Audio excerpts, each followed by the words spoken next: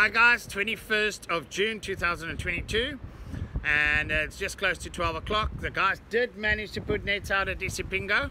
Moonlight was the first Tony Moon and I know V's one.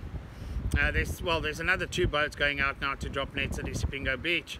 So make your way there if you're interested in some sardines guys and then again I just want to mention this morning I had the dates wrong but the Kingfisher birthday sale starts on Thursday the 23rd and runs to Sunday uh, and at 25% off everything in their store except Shimano rods and reels will be 15%.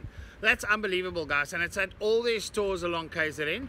So this time of the year is great for that, uh, for, for the Kingfisher sale. I think a lot of people wait for that. But that's unbelievable prices. So make your way to Kingfisher this week. Just back, um, sardines being netted, Illovo Beach. Uh, you can make your way there if you're interested in some sardines.